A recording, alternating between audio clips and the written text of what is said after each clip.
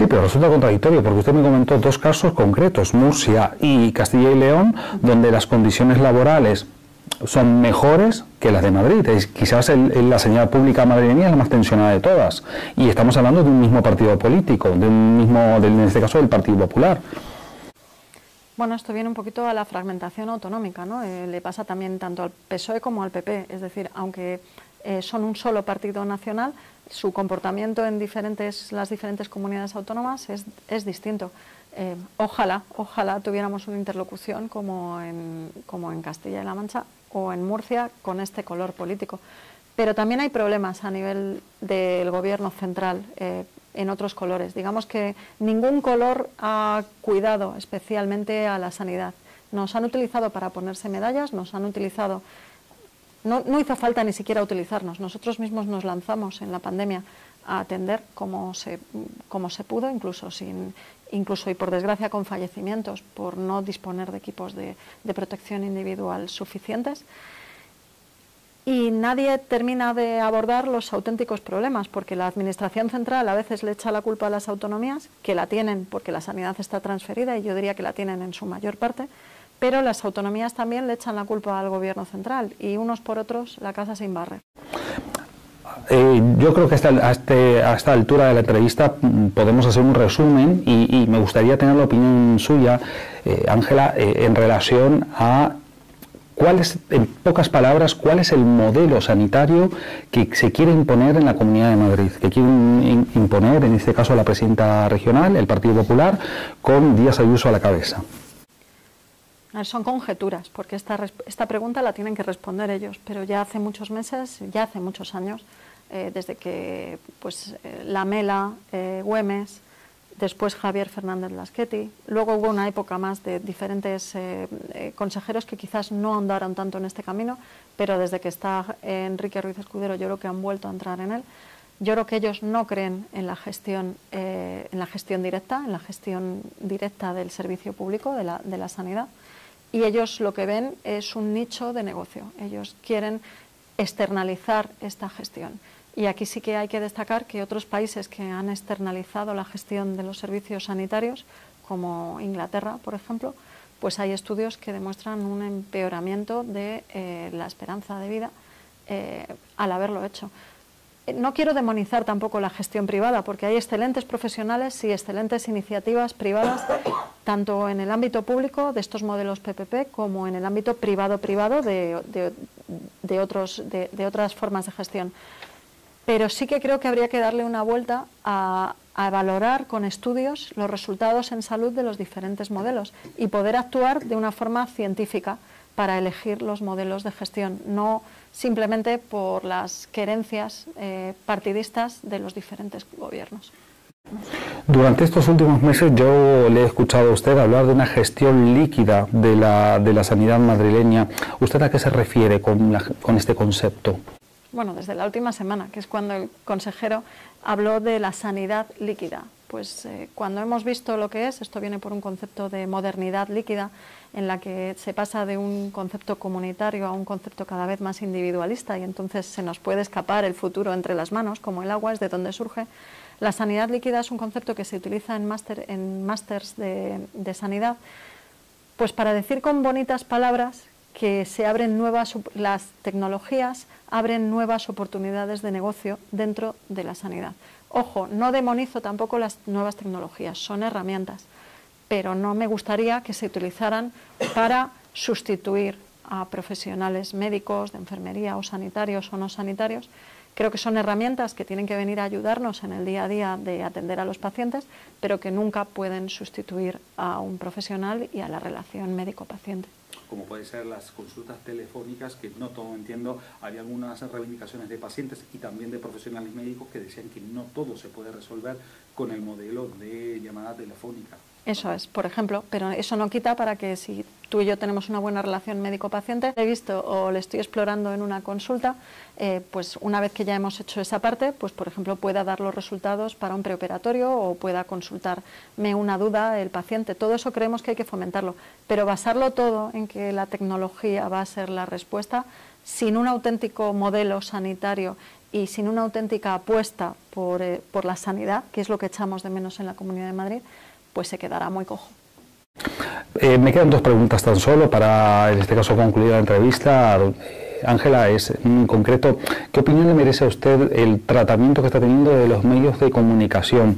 En muchas ocasiones se está haciendo mención o se refieren conflictos en otras autonomías, como hemos hablado anteriormente, donde finalmente se han desconvocado estas, estas huelgas o estas, estas eh, protestas. ¿Usted entiende que es una forma de evitar que el gobierno regional eh, asuma un determinado, un desgaste político y un coste a, su gestión o a su falta de, digamos, de, intención de, conversar con, con vosotros?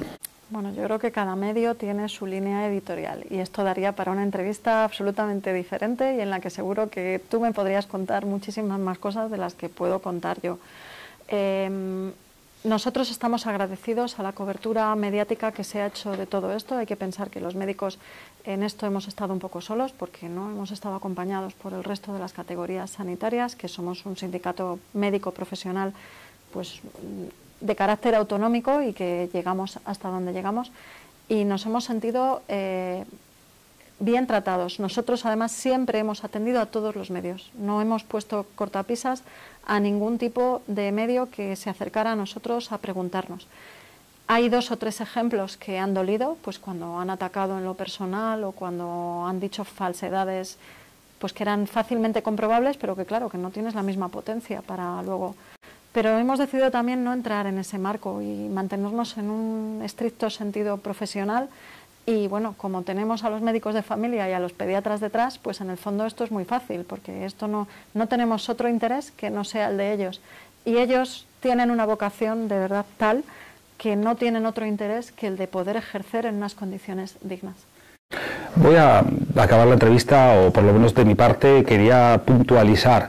Usted comentó al inicio de la entrevista que estábamos hablando de un conflicto laboral, pero en este caso ustedes tienen una gestión pública y tienen, son funcionarios públicos y tienen un servicio público. No estamos hablando solamente de cuestiones económicas, ¿verdad? No, estamos hablando de la libertad de ejercicio.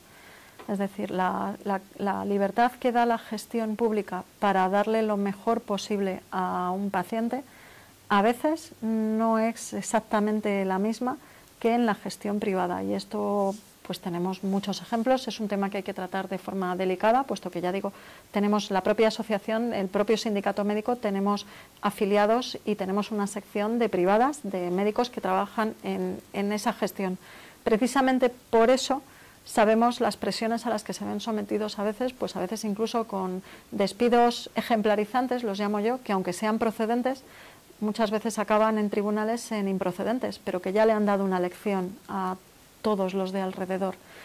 Entonces, bueno, realmente... Em, no, mi pregunta iba orientada porque muchas veces se entiende o, he escuchado por allí que estos médicos que quieren más dinero. Entonces... A ver, esa parte no la hemos tratado porque a mí se me ha ido y el dinero a veces no es lo que más me mueve a mí ni de lo que más entiendo. entre las últimas, eh, eh, digamos, sesiones que ha hecho el, colectivo, en este caso se ha apartado el tema de la, solicitud de complementos. También está porque es necesario, quiero decir, eh, hay residentes que están eligiendo irse a ejercer, hay residentes y médicos que están eligiendo irse a ejercer a la privada, a otras comunidades o a otros países. No hay que olvidar que vivimos en un entorno europeo de libre circulación en la que el país vecino como es Francia, las retribuciones médicas doblan a las españolas y si nos vamos a Suecia, Noruega, triplican o incluso cuatriplican. Como no hagamos un esfuerzo en ese sentido, eh, los nuevos especialistas que vienen con idiomas y que no están todavía atados a ningún tipo de, de, carga familiar, por decirlo de alguna manera, pues probablemente miren hacia arriba y, y, vayan fuera, pero no solo por la retribución, sino sobre todo por las condiciones de ejercicio. ¿Cómo podemos, siempre lo pongo de ejemplo, pero cómo vamos a competir en una consulta que le estamos que, están viendo cómo sus médicos y sus tutores están viendo 50, 60 pacientes al día, con las retribuciones que tiene en España respecto al triple de retribuciones en Suecia y viendo entre 15 y 20 pacientes al día.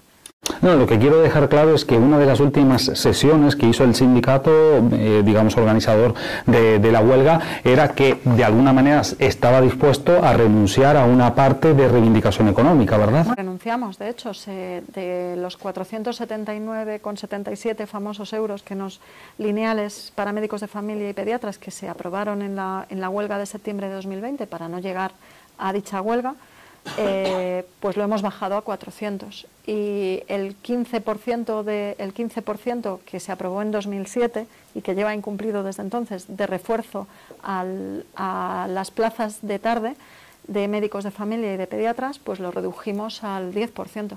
Pero aún así, si también igual que decimos eso, también decimos que sin posicionar eh, presupuesto no se, puede, no se puede pensar que la atención primaria vaya a reflotarse, porque seguirá siendo la gestión de la miseria de la atención primaria. ¿Qué, ¿Qué, mensaje a usted le gustaría trasladar a los madrileños y a los pacientes en general? Bueno, que fundamentalmente que esta huelga eh, tiene una parte de condiciones laborales, pero tiene un mucho de condiciones de ejercicio y de salvaguardar la calidad de un pilar básico y fundamental de la sanidad como es la atención primaria y que nosotros estamos haciendo todo lo posible, pero que sin ellos, sin su ayuda y sin, y sin su apoyo y sin que entre todos decidamos qué tipo de sanidad nos queremos dar como, como sociedad, pues a lo mejor no vamos a ser capaces. Ángela, de mi parte nada más. Muchísimas gracias por habernos recibido aquí en la sede de, de. Estamos para, para, cualquier, seguramente, bueno, nos estaremos viendo en, los próximos, en las próximas semanas y esperemos que este conflicto finalmente se pueda resolver de forma favorable para el bien de los médicos, de los profesionales de la sanidad pública y por sobre todo también para los pacientes que, que vivimos en la Comunidad de Madrid. Muchas gracias. Muchas gracias. Gracias a vosotros por el espacio, Maximiliano.